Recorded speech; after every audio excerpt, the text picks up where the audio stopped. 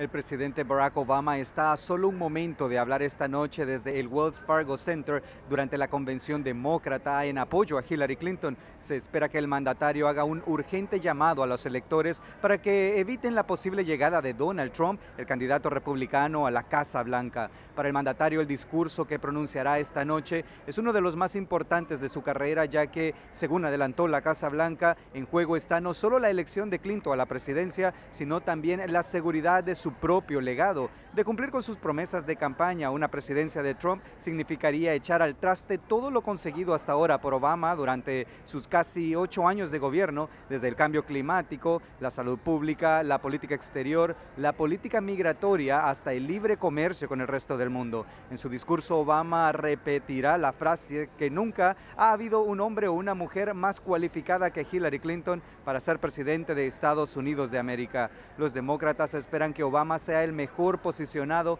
para persuadir a los votantes que Clinton es la persona correcta para la presidencia y certificar que es digna de confianza a pesar de las acusaciones de sus detractores que la consideran deshonesta y desconfiable.